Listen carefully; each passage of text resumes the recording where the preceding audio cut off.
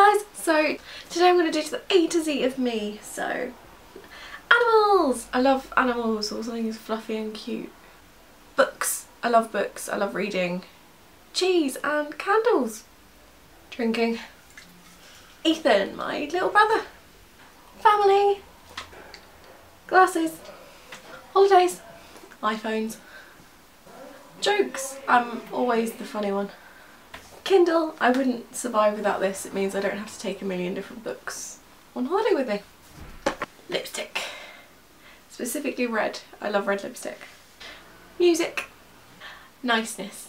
There's something really good about nice people. Optimism.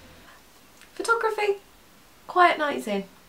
Rhiannon Ariana Springate, my full name. Selfies. Twitter. University. Violets, one of my favourite flowers. Warm weather. Christmas. Or Xmas. See what I did there? YouTube. And zodiac sign. I'm one of the people that does follow their horoscopes. So there we go, that is the A to Z of me. I'm sorry I was a little bit short, I've been really busy this week. I don't think get to like, subscribe and all that fun stuff.